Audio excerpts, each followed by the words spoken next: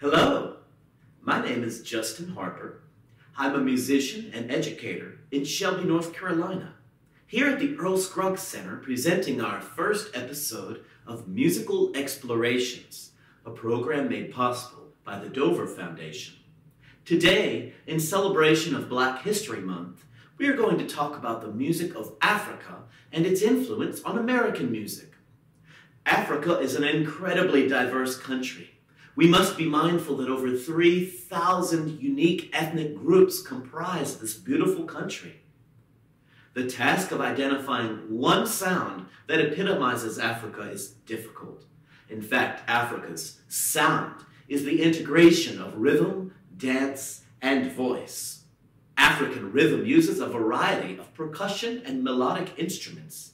Just to name a few are the kalimba, or mbira, known as the thumb piano, the sheke or maracas, the marimba, balafon, and other xylophone-related instruments, the ekwe, also known as the tongue drum or the slit drum, the world-famous goblet-shaped drum, the djembe, and finally, the stringed instruments made from gourds and tightened animal skins called the kora and akonting, are most closely related to the instrument that is most esteemed here at the Earl Scruggs Center, the banjo. The range of African music varies from complex, driving rhythms of drumming, singing, and dancing to the intimate solo voice accompanied by the oud, a fretless lute that is actually the predecessor to our modern-day guitar. We must understand that the music of Africa is not reserved for the elite or the affluent. It is an activity shared by the entire community. Music is the core of African celebration, fellowship, and community gatherings. It is engaged by the entire community in song, dance, and instruments. While music may be the background to our American soundtrack, it is the forefront of African culture and used in festivals, weddings, funerals, coming of age events, and more. The nature of African music is improvisational. Improvisation is the act of creating something from the knowledge or experience that one already possesses.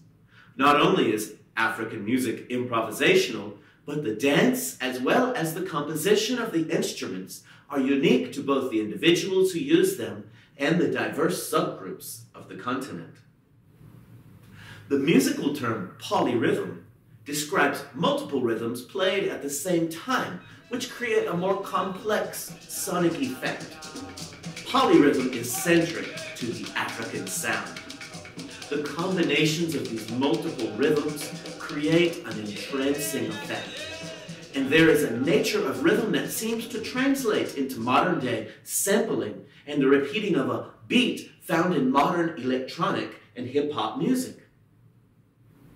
The influence of westernization is apparent in modern African music, as that is the case for many cultures around the world.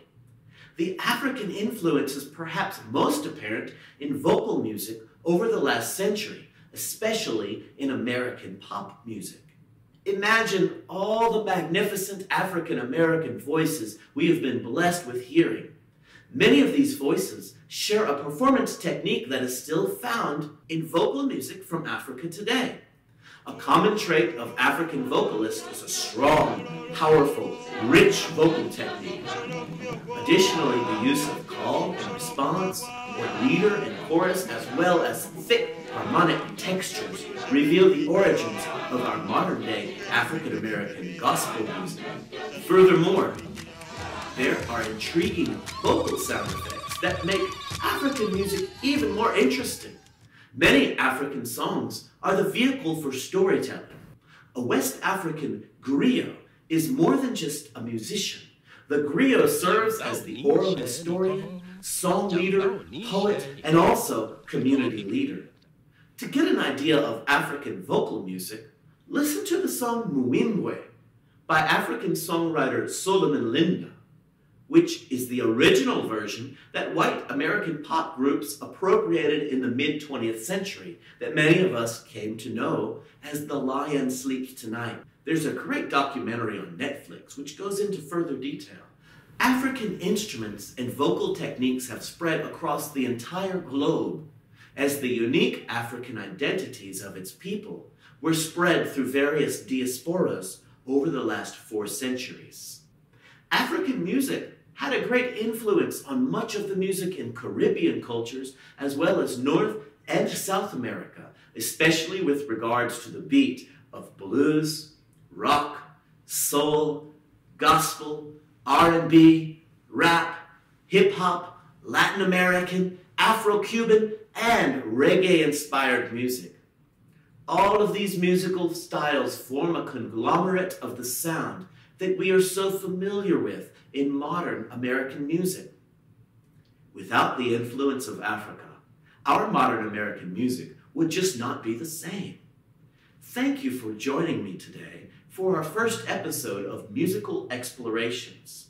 And please follow the Earl Scruggs Center so that you may see future episodes.